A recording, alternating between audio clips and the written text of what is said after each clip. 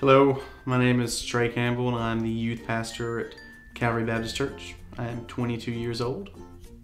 I decided to become a youth pastor instead of choosing any other job because it's the most fun. Um, all the other jobs, a doctor, a lawyer, a chef, or whatever, they're too political, I guess. There's more ins and outs. There's a big ladder that you have to work with. Uh, being a youth pastor, my job is to work with kids.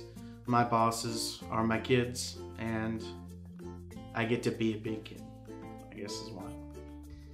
I know that God chose me to become a youth pastor because after I accepted Him and He started, I started reading in Scripture and praying and just feeling conviction about this and that. And when it came time for the opportunity for me to come to this church, uh, God wouldn't let me be at peace with anything other than choosing to come to this church.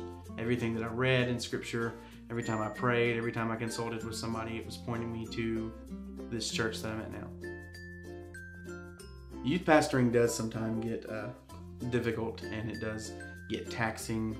Um, during the summer, when I'm working with the kids every day, like during the school year, they're at school, so I really get to work with them on Wednesdays and Sundays and sometimes on Friday or Saturday. It just depends on if they're a game. But during the summer, where we're doing something every single day, and I'm having to plan activities and work on a budget and find the time to sit down and study scriptures to figure out what I'm going to teach them, it does get tremendously overwhelming.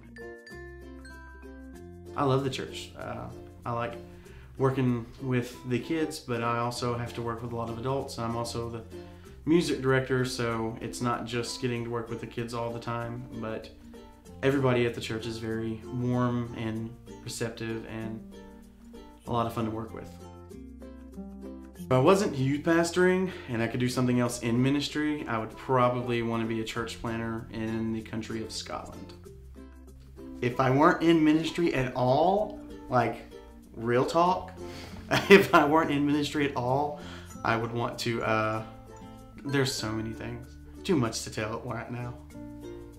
Being so responsible for the spiritual lives and sometimes the well being of the kids um, directly affects the way I live my life outside of church. It's terrifying. Uh, before I came here and before I started working with kids, was a very careless person. And now that I'm so used to working with kids and I'll go out and I'll do something because I'm so used to having the kids with me, I'll be like, oh, I can't do that anymore. It, it changes the way I think. Um, even my home life is a little different when it's just me and my brother or my roommate just chilling in the living room. We, we talk about things differently because we spend so much time with the youth. Uh, it, it changes everything. Uh, I'm the youth pastor because I want to work with these kids. That's really the biggest thing is when I did my internship, I spent all my time with them and when it came time to make a decision whether or not I was gonna work at the church full time or go back home, on my end, I, I didn't want to leave the kids anymore. They became my best friends, and so I wanted to keep working with them and working for them.